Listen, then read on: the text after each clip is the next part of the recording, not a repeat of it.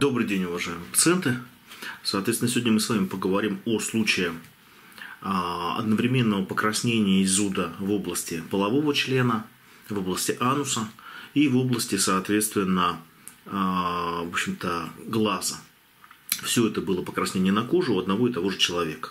К нам обратился молодой человек, у которого одновременно наблюдались а, вот такие три кожные локализации в виде покраснения, пятен ограниченных, зуда, жжение в области, соответственно, ануса вы можете видеть на картинке, да, вы можете видеть в области головки полового члена, несмотря на то, что она обрезана, наблюдаются изменения, и не только красные, но и очаги воспаления провоцируют такой э, элемент обесцвечивания, да, мы видим с вами белые пятна, однако это является, в общем-то, поствоспалительной лейкодермой, или, соответственно, потерей кожи э, вот такого цвета из-за воспаления, ну и, соответственно, также в углу глаза мы наблюдали э, шелушение, наблюдали покраснение.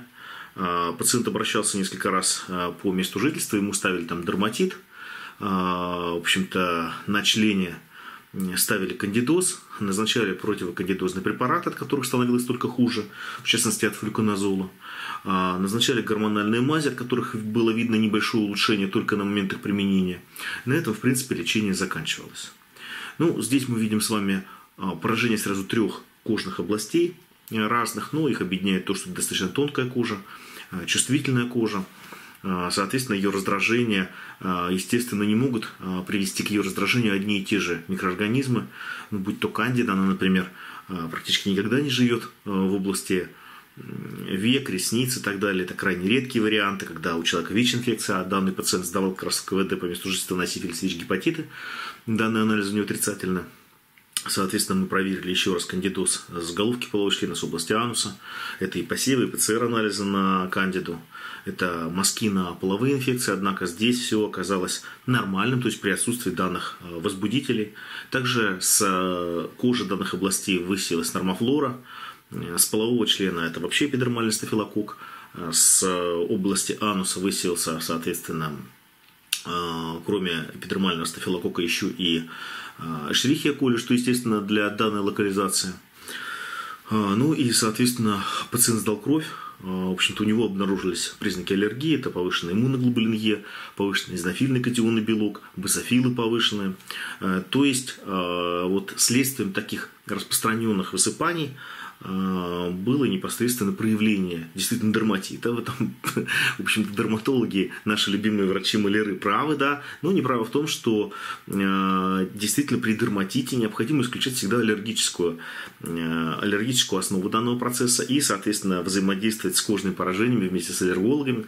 В частности, дерматологи со своей стороны могут, кроме консультации аллерголога, да, назначить те же антигистаминные препараты, что было сделано данному пациенту, назначить на третий сульфат, кальций-глюконат, натривен, на озон, мы назначили также пациенту еще ультрафиолетовое облучение крови. А, наружно пациенту были проведены а, фотодинамический лазер в области ануса. Вы можете видеть на картинке в области полового члена.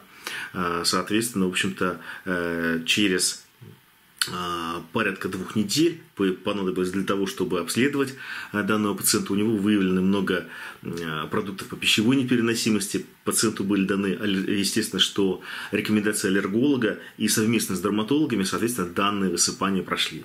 О чем это говорит? Если, соответственно, у вас несколько областей поражения на коже, да, то это не обязательно должен быть, как в этом случае дерматологи ставили, да, сибарейный дерматит, волнопастит, соответственно, перианальный дерматит. Это все может быть проявлением одной и той же аллергии, ну, в условиях кожи одного и того же организма.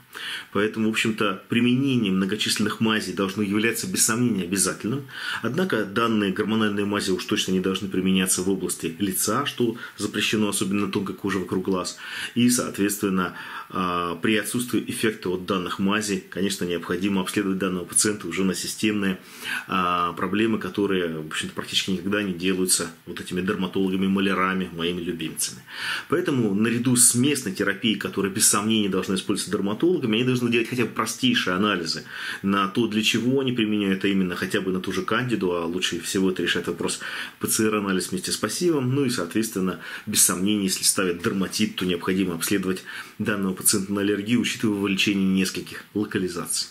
При необходимости диагностики и лечения рачных поражений в области половых органов вы можете обратиться к венерологам, урологам нашего медицинского центра платной КВД в Москве. У нас принимают грамотные специалисты, которые занимаются диагностикой и лечением подобных заболеваний. Ждем вас в нашей клинике, подписывайтесь на наш канал на YouTube, на наш канал в Instagram.